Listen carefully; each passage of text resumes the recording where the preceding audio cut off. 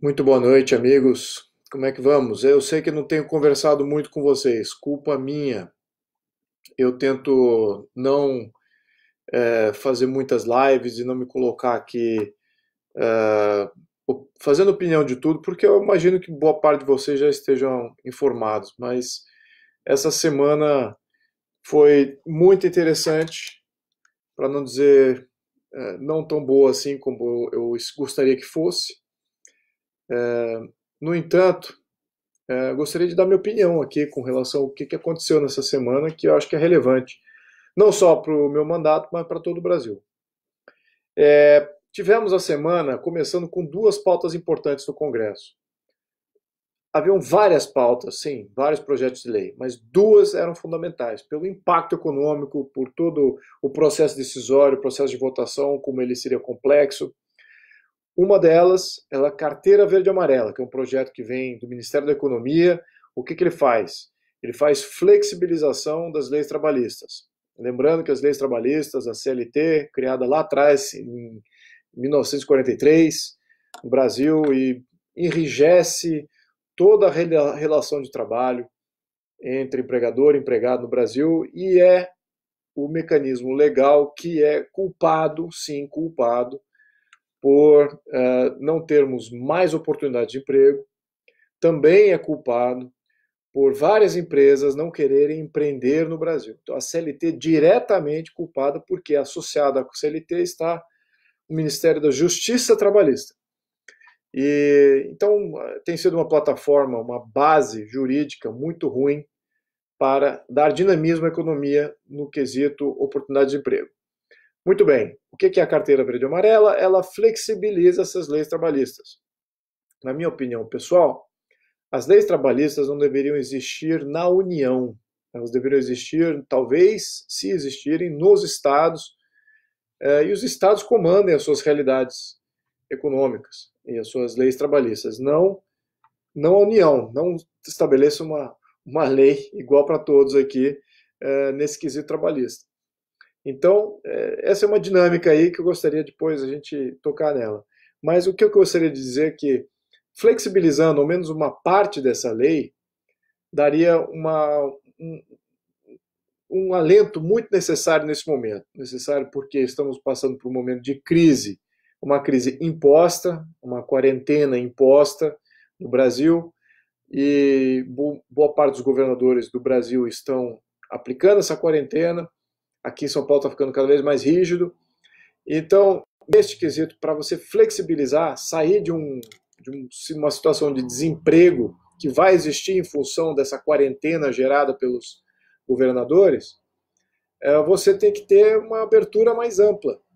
Você tem que ter um canal de entrada, um canal de volta ao trabalho muito mais facilitado e não dificultado como ela é hoje. Então, sou extremamente favorável a, a carteira verde e amarela. Mas por que eu estou falando dela primeiro? Porque ela sequer foi contemplada. Sequer foi contemplada. E por que, que ela não foi contemplada? Eu vou responder depois que eu falar do Plano Mansueto.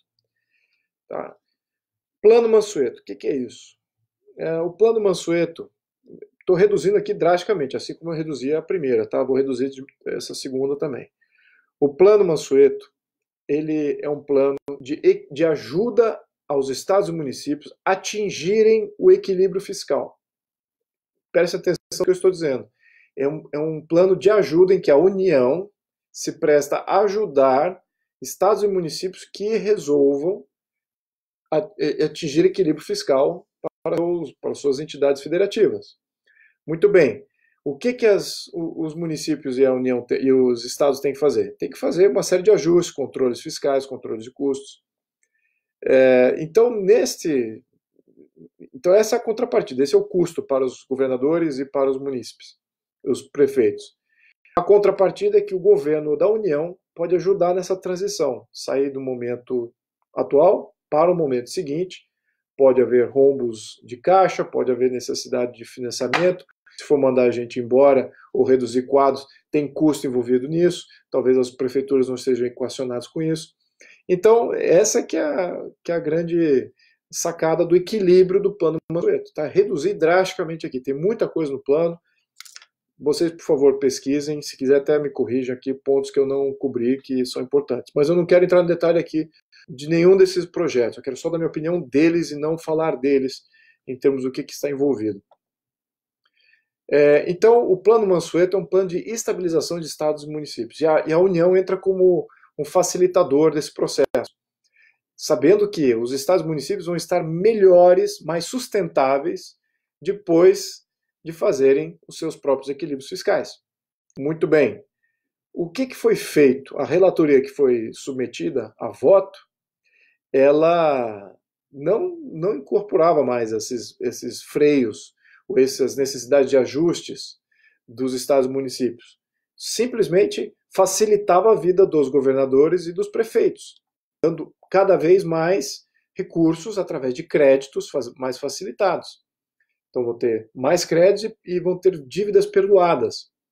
E, e, e aí você e eles ainda vão poder se endividar também com o aval da União. É, bom, e qual a contrapartida? Nenhuma. E qual era o grande argumento aqui? Ah, é o Covid, vamos sair do Covid. Bom, nada mais do que demagogia, porque o Covid não ataca todos os municípios. O Covid está focado em algumas, alguns grandes centros urbanos. São várias cidades, no hotel centenas de cidades já batendo talvez 500 cidades. E todas elas com tamanho médio ou grande, certamente os grandes, mas médios. É, estamos chegando aos médios, mas são 500 cidades, não são 5.500 cidades. Então estaríamos, o, o atual plano que foi submetido, não o original, mas o substitutivo, ele acaba completamente com essa visão de que os governadores e os munícipes têm que fazer alguma coisa para merecer essa ajuda da União. Eles simplesmente exigem essa ajuda sem limites e certamente no final desse processo os municípios e os governos vão estar ainda mais insolúveis. Então eles já não apresentaram uh, uma, ao menos existem municípios sérios que são equilibrados, existem ótimos prefeitos no Brasil, não tenham dúvida sobre isso que são pessoas honradas, que faz a coisa certa, trata o erário público com muita estima, até alguns governadores, não tenha dúvida. Agora, no geral, generalizando aqui, incorrendo talvez aqui numa grande injustiça com aqueles que são bons, mas vou ter que fazer essa generalização. No geral, podemos dizer que aí não há um, uma tradição de austeridade dos prefeitos, uma tradição de austeridades do, de austeridade dos governadores. Muito pelo contrário, a tradição é completamente oposta. É tradição de perdulários. Essa que tem sido a nossa tradição. E o passado nosso comprova isso. Quanto mais poder e, e, e autonomia que a gente dava para os estados municípios, mais perdulários se tornavam. É, infelizmente, tem. E olha que eu, quem, me, quem me segue sabe muito bem que eu quero dar cada vez mais autonomia, autonomia para os estados municípios, mas autonomia significa responsabilidade também. E, e aqui temos uma demonstração nítida de que eles não querem a responsabilidade, querem só a autonomia e, e, o governo federal bancando essa liberdade toda. Enfim, por que, que esses dois projetos, então, não foram. Por que, que a, a carteira verde e amarela, que é essencial para uma recuperação econômica, uh, após esse período de quarentena? E por que, que o plano do Mansueto, os dois não, não lograram sucesso? O primeiro, a carteira, foi praticamente tirado de pauta, porque existe uma, uma oposição muito forte no, no, na Câmara. Ideologicamente, mexer na CLT já gera todo, suscita todo tipo de reações uh, emocionais. Não querem uh, validar que aquilo é um erro. E também eles já têm uma proposta de deixar todo mundo em quarentena e o governo gastar mais ainda com planos assistencialistas dessas pessoas que perderam o emprego ou que estão forçadamente em casa, não fazendo nada, recebendo do governo. Ele já tem essa visão, isso faz parte da ideologia e do, do, do processo todo de você validar um Estado paternalista cada vez mais forte e intromissor. Então, com esses não tem nem como debater, flexibilizar a questão de, ter, de carteira de trabalho. Então, é, essa que é a dinâmica ali que esse plano, a carteira verde e amarela nem chegou a ser pautada em função dessa oposição que ia obstruir, então não havia um consenso já de bate-pronto. Com relação ao plano Mansueto, do jeito que ele foi adulterado, boa parte dos partidos não tinha entendido exatamente essa mudança, não tinha entendido exatamente o que, que era o plano Mansueto no, do início, qual era a missão do plano Mansueto e o, qual foram as adulterações que foram incorridas. E, então, no processo, por isso que ele foi a voto, foi a, a, a uma contemplação em Câmara, e nós, que somos contra, uh, ao menos boa parte dos deputados com que eu convivo, e temos aí canais de comunicação e influência, nós vimos que esse plano, tal qual apresentado pelo relator, ia ser dramático para o Brasil. Ia colocar a situação da União uh, de, uma, de uma maneira a retroceder a períodos, a, a tudo que nós conquistamos desde os anos 80 em termos de disciplina fiscal, disciplina orçamentária, de olhar metas de inflação, de ter aí um rigor em proteção da moeda, é, porque o plano, a, a relatoria ia de fato colocar sim a moeda do Brasil em risco, é, a estabilização da moeda brasileira em risco. Tamanha a dívida que não só aquela que já se percebia, mas a que é a não perceptível também, não, não era uma coisa, não, não dá para se dizer exatamente o quanto de dívida ia vir dos estados e municípios, sabemos que ia ser um valor muito superior ao que a União poderia disponibilizar. Então, neste contexto, colocaria até a moeda brasileira em risco. Então, isso, quando esses deputados começaram a perceber, então aí houve mais apoio para a rejeição também do plano Mansueto, tal qual ele é apresenta, apresentado pela relatoria. Então, esses, nós até tiramos isso de pauta no, no atual contexto. Se quiserem ainda fazer alguma coisa com relação à Covid, que era a grande narrativa lá do Plano Mansueto, vamos resgatar os estados, dar dinheiro para os municípios, dar dinheiro para os estados, porque temos o, aí a pandemia e tal. Então, não precisa salvar o balanço dos estados e dos municípios ou da, fazer uma injeção de capital em estados e municípios. Você não precisa fazer isso. Você só precisa estabelecer o quanto você quer gastar da União, como é o dinheiro vem da União, quanto que a União vai gastar, e cada estado ou cada município comprove que precisa esses recursos baseado em alguns gatilhos, é só isso. E a União pode transferir diretamente para aquele município que é necessário. E olha que a União já está fazendo isso, porque anterior ao voto do, do Plano Mansueto, nós facilitamos até para Santa Casas receberem é, mais recursos. Então, e as Santa Casas respondem aí por uh, um, um, número expressivo daqueles que, que são atendidos pelo sistema de saúde. Então veja como uma narrativa, eh, uma versão falsa do, de uma, uma, uma, desculpa que está no ar, ah, é pandemia, então vamos injetar mais capital nos estados e municípios, salvar os governadores, salvar os prefeitos. Não é, não, e, e, mas o compromisso não é com salvar ninguém aqui. Compromisso é comprometer a moeda. Então, essa é que é o contrapartida. Então, você quer comprometer a moeda, dar dinheiro para os estados e municípios e não necessariamente os recursos vão ser usados para a saúde? Essa que é a grande questão aqui, que ninguém está colocando na mesa. É, agora estou colocando aqui para vocês, para vocês entenderem um pouquinho melhor essa dinâmica. Então, obviamente que isso, graças a Deus e muita interferência ali é, de última hora, a gente conseguiu postergar até hoje. Depois, hoje, a gente viu que ainda não tinha consenso ainda no texto. Ficou para a semana que vem é, qualquer votação desse tema.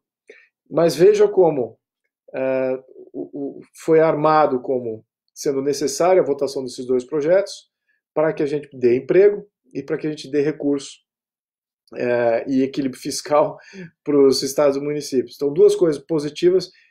Não votamos. Votamos coisas menores, é, que facilitam, ainda, ainda continuam nessa série de gastos. E aqui eu vou dizer pessoalmente, eu acho que a gente não tem que aplaudir nada do que está sendo feito em termos de é, mais gastos. Tá? Eu vou ser bem específico aqui, deixar bem clara aqui a minha opinião. Não podemos aplaudir gastos. Por quê? Porque a pandemia ela é uma tragédia. A pandemia é uma tragédia mundial. Sim, o vírus é sério sempre uh, pontuei isso. A questão de saúde sempre é séria. Então, temos um problema aí que é grave e é uma tragédia. Gera tragédias individuais aí e gera tragédia talvez, esperamos que não ocorra isso no Brasil, mas regionais, municipais, etc. Então, temos aí um problema grave. Agora, você comprometer todo o seu recurso de Estado, todo o seu erário, toda a sua estabilidade fiscal, vocês têm que lembrar o sacrifício de que foi estabilizar o país. Demorou 30 anos depois. Quem. Eu tenho 50 anos de idade. Aliás, 51, desculpa. Eu vivi o regime militar. Eu revivi o regime militar. E se eu tiver que fazer aqui uma crítica do regime militar, ela será específica em uma coisa: economia. O país estava quebrado, os militares entregaram o país quebrado aos civis, porque estava estatizado, porque estava controlado pela União em tudo, havia regulamentação para tudo, substituição de, de, de, de importações, não podíamos fabricar, tínhamos que fabricar nossos próprios computadores, caríssimos, ineficientes. Tudo tinha que ser feito no Brasil, não podíamos importar os melhores, ou ao menos desenvolver uh, até tecnologia e patente, uma série de coisas.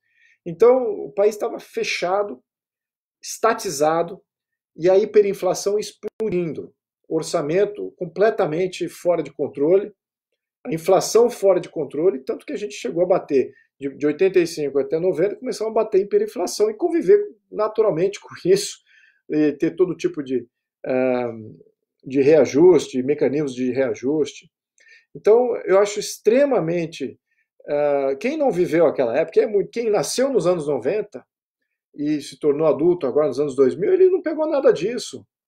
Não, não temos aí essa. Agora, quem é da minha idade, ou até um pouco menos, mais jovem do que eu, de 40 e poucos para cima, vai entender o valor que é estabilizar uma moeda. Enfim, e isso tudo está em jogo de novo. Estamos aí com uma série de medidas que eu me senti extremamente confortável em votar até favorável em muitas delas, mas entendo o contexto, algumas delas são sim para efetivamente combater a, a pandemia, e com essas podem contar com o meu apoio, não tenha dúvida. Agora, uma série de medidas compromete a nossa nação, compromete a estabilidade fiscal da nossa nação, compromete a moeda.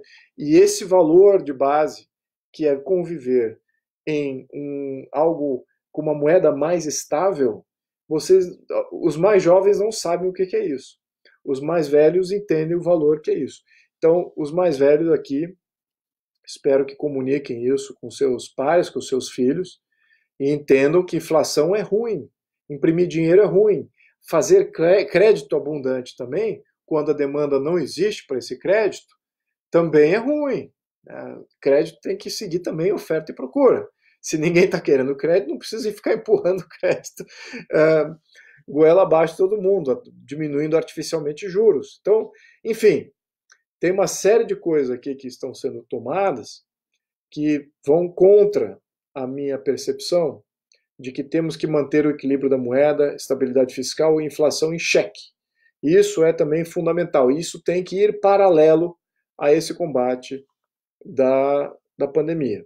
Então, algum, e muitos dos discursos estão indo exatamente para usar artifícios para desestabilizar a moeda, desestabilizar a questão fiscal e orçamentária do Brasil. E é exatamente isso que eu tenho tomado mais, é, feito mais atenção com relação a isso. Muito bem, então temos dois projetos que os dois não foram votados, no entanto foram amplamente discutidos e várias outras pequenas medidas menores, mas ainda impactantes em questões de uh, gastos uh, e também algumas outras coisas. Por exemplo, agora uh, recentemente, hoje, passamos um projeto que os que estão inadimplentes vão poder, ou seja, não serão negativados pelo Serasa ou pelos buros de crédito positivo. Uh, isso de uma maneira impositiva, por lei. Na minha opinião, não precisava da lei, não precisava desse mecanismo. Por quê? Porque o mercado já estava se ajustando. As empresas, os fornecedores e os devedores uh, e os tomadores de empréstimo e os pagadores, enfim, todo o mercado já estava discutindo quais são as melhores práticas para que todos sobrevivam. E entendo que é realmente um momento aleatório, um momento passageiro e, e extraordinário. Então não é uma coisa recorrente. Então isso, o mercado já estava se ajustando, já estavam prolongando os prazos para negativar um crédito. Uh, naturalmente, as agências de crédito, Serasa e outras agências de crédito positivo, já estavam fazendo essa avaliação. Agora, o que, que acontece? Veio um monte de, de deputados aí e falou: não, agora vamos fazer uma lei falando exatamente o que o mercado está fazendo. Então, para quê? Para garantir que o mercado não vá é, é, sair fora desse arranjo que o mercado estabeleceu. Por favor, por favor. Foi, votamos aqui uma interferência desnecessária, tá? totalmente desnecessária, e que pode gerar também problemas no futuro, porque você não sabe se o crédito que está sendo oferido ali para um Serasa ou para um burô de crédito, de fato contempla esse período que a gente viveu. E sabendo que as, as relações humanas que foram estabelecidas para é, para conviver mesmo com esse período já estão precificadas. Então o mercado já aprecia. Agora, o mercado precisa de informação mais uh, confiável. Se, se, o governo está interferindo, a confiança da qualidade dessa informação se perde um pouco. Então, totalmente desnecessário esse projeto. Então, esse tipo de coisa que a gente tem votado essa semana. É, não acho que foi algumas coisas como essa, assim, nessa linha, não foram positivos. Algumas outras uh, benesses e, e gastos aí empleados para combater o vírus foram positivos. Agora, não, não esse do, do plano Mansueto. Muito bem. Então aqui eu já pontuei esses dois maiores projetos. O terceiro item que muitos me ligaram aqui, me perguntaram o que, que eu acho do que, que está ocorrendo aqui em São Paulo, com relação a, a, a esse controle via celular de aglomerações. Tá? É, primeiro, a priori, só pelo som disso, só pela discorrição do que, que é o projeto, eu acho também uma coisa desnecessária. É uma coisa que mostra desconfiança dos governantes com a população e vice-versa. População, como desconfia dos governantes, não atende o que os governantes estão sugerindo. Então há uma, uma perda de credibilidade quando você começa a tomar medidas cada vez mais draconianas, cada vez mais fortes, cada vez mais rígidas isso é perda de confiança. Então, já é, já é um sinal negativo, né? isso por parte aí do, do governador João Dória, deixando bem claro isso aí, quem está comandando isso. É, é uma coisa ilegal? Eu, eu, diria, que, eu diria que está na, no limite da legalidade. Até ele usar essas informações de uma maneira que cerceie os indivíduos de uma, de fato, uh, e cria aí alguma interferência, aqueles indivíduos não, ou os indivíduos em geral, a população cidadão em geral, não tem como se proteger disso. Uh, tem, tem, que haver o ato antes. Uh, geralmente as empresas protegem a privacidade, então a geolocalização é debatível, na minha opinião, se ela já é uma violação de privacidade, se a geolocalização é uma violação de privacidade. Na minha opinião, e muitas empresas que atuam na internet, atuam com os meios de comunicação, também entendem assim. Então, eles garantem até esse, essa privacidade através até de, de controles ali de privacidade. Uh, agora, a lei contempla isso? Talvez não. Eu, particularmente, até tenho um projeto, junto com outros da, de, de, de segurança pública, uh, para fazer alertas quando há sequestros, sequestro de crianças ou uh, coisas assim do gênero, porque eu já vi isso funcionar.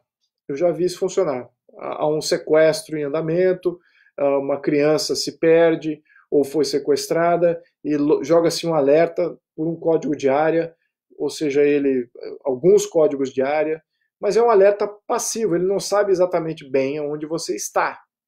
Ele basicamente identifica o seu código de área e faz um alerta porque eles acham que naquela área é, tem celulares com esse número, então você recebe aquele alerta via SMS que em tal carro ou tal pessoa portando um boné, etc., está com uma criança que não lhe pertence.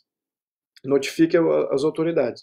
É esse projeto que eu tenho tramitando. Não é um projeto novo, há outros policiais que já fizeram esse um projeto semelhante, uh, está tramitando. Então ele é, ele é, semelhante a isso que o, que o governador João Dória está fazendo. Então aqui estou fazendo aqui um balanço, espero que uh, honesto aqui do que está acontecendo.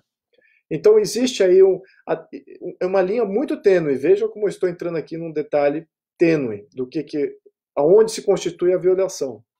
Então você mandar um SMS para os celulares de uma maneira uniforme, como uma informação de segurança pública ou uma informação de saúde pública, aí teve um vazamento químico de algum lugar, ou está tendo um incêndio em algum lugar, é perigoso, etc., fumaça por lá, algum, algum pneu sendo queimado em algum lugar, é, enfim, ou até mesmo coisas mais sérias, por exemplo, uma barragem é rompida. É, então, aí um alerta para uma certa área com um código de área em comum vale a pena. Acho que é algo que, algo que seja interessante. Agora, o que, que ali estava sendo contemplado é vai além desse alerta passivo por código de área. O projeto dele de fato entra aí em análise de geolocalização das pessoas, onde elas estão, ou seja, se eu vou colocar na minha privacidade do meu telefone, tanto do, do, de todos os aplicativos aqui, para que não identifique onde eu estou, não importa. O governo do estado de São Paulo vai ter acesso a esse telefone, a essa linha, a geolocalização dele, mesmo que eu não queira, mesmo que eu não esteja deixando. Então, a argumentação aqui é em nome da saúde, em nome do bem público da saúde. Então, veja como é, há uma, uma linha muito tênue. Ele está usando uma informação que é, de fato, privada, que eu considero privada, talvez a, a lei não considere, mas eu sim considero, e muitas empresas consideram, mas como está ali naquela linha tênue de como que essa informação vai ser usada, e também está sendo usada pela saúde, ao menos essa que é a, grande argumentação, uh, o que, que dá para o cidadão fazer? Né? Como que ele se protege? Só no pós-facto, né? só depois que houver uma interferência de fato, aí quem sabe ele pode, porque a lei está ficando, ele está aplicando coisas, pode poder ter multa, vai, vai poder ser preso, se por acaso está numa aglomeração, então o seu direito de ir e vir, o seu direito de associação, o seu direito de livre passagem, é, em todo o território nacional, isso passa a ser violado em função do governo estadual. Então, é, eu acho que esse debate é, se iniciou agora. Tá? Eu estou dando minha opinião aqui, que eu acho sim que é uma intromissão. Eu acho que é uma intromissão. Se eu fosse para fazer um, um serviço de saúde pública, eu não usaria geolocalização. Ou usaria simplesmente para notificar do perigo. E não para aplicar multas especificamente é, por celular ou, ou até mesmo prender aqueles celulares que estavam ali se aglomerando. Eu não faria para isso. Faria como um alerta de segurança pública, somente isso. Essa é a linha que eu traço, porque eu já vi isso funcionar. Então, meus amigos, eu não sei se teve muitas perguntas aqui, não consegui seguir.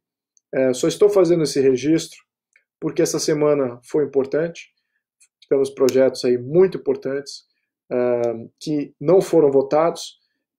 Um deles, infelizmente, não foi votado, que foi a, a carteira verde amarela. O outro, graças a Deus que não foi votado, que foi o plano Mansueto.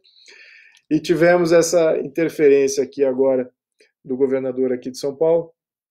Eu não julgo isso como positivo, apesar de que é um projeto válido de segurança pública, ter sim notificações não só de saúde pública, mas também é, de segurança pública com relação a, a questões de, de criminalidade e violência. Meus amigos, só queria fazer esse registro aqui. Eu desejo a todos eh, uma ótima Páscoa. Estou sempre disponível aqui. Agradeço a todos uh, por me acompanhar, por, por, sempre me darem confiança nesse processo uh. Obrigado, hein? Muito boa noite a todos.